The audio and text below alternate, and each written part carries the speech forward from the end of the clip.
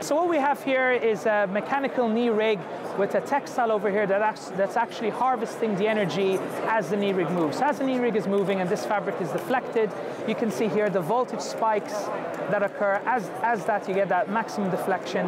And this is usable energy that can be extracted out to here and potentially charge wearable devices.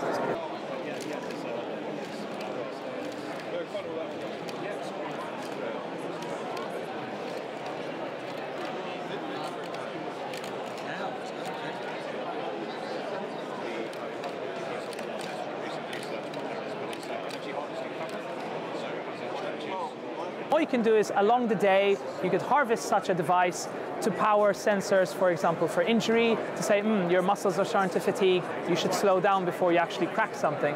Or for example, if uh, the worst happens and an avalanche occurs, you could have a beacon that can use up all that stored energy throughout the day and just push out a big signal that says, uh, I'm hurt, this is where I am, this is what's potentially broken, come save me.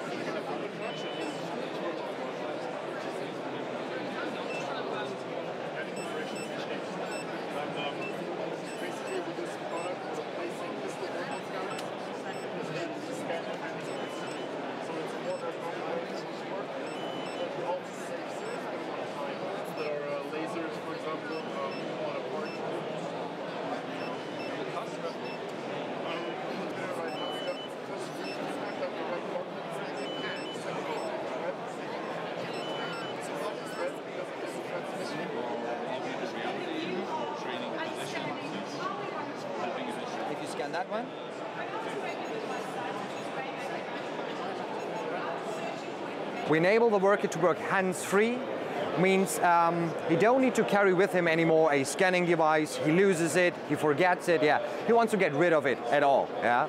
And we use that possibility to, um, yeah, to give him his one hand back to use both of his hands. On the other hand, um, without carrying with you a scanner, you have improvements in terms of efficiency because picking up a scanner, put it back in the cradle, will last roughly four seconds.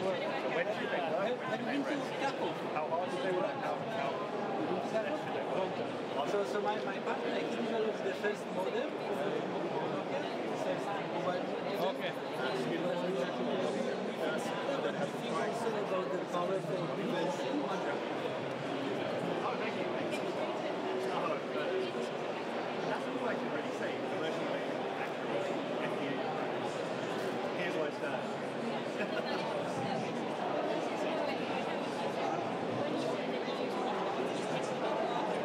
Look at that. Uh, aggregate that data.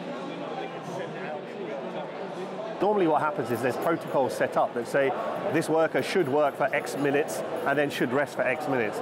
But everyone is individual. So what we're able to do is provide quantifiable data where supervisors and managers should say to work safely and efficiently and effectively, you should work for this long, you should rest for this long, you should work for this long, rest for this long, so you can cycle them in safely as well. Signals, we can extract the information that what is your sleep stage and when you actually fall in sleep and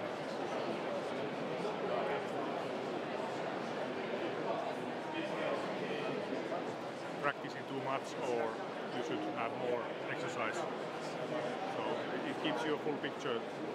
Film the info that it shows on screen.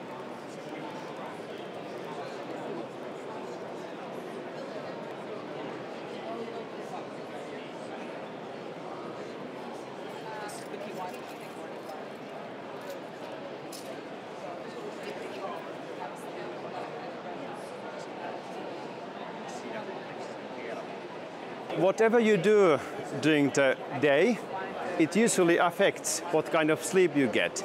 And if you want to uh, improve your fitness and, and, and, and be ready for the challenges of the next day, uh, you need to get good recovery during the sleep. So in the morning, the uh, with, by this information, the application can tell how ready you are for the coming day and uh, what your body is ready for on that particular day.